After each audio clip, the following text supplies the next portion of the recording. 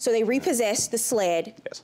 from your cousin, Yeah. the one that they paid $5,000 Yeah, for. The one that I had already paid nine The one that you say you actually paid and it wasn't being used as collateral, but somehow the bank was able to come in and repossess it. How is this their problem? The bank's problem? No, how is this their problem? I, this is not their problem.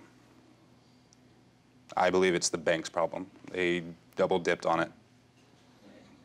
No, I think it's your problem because you don't have any proof to me today that you actually ever paid the bank $1,800 to get this title, and your reasoning for, for not getting the title is um, pretty ridiculous.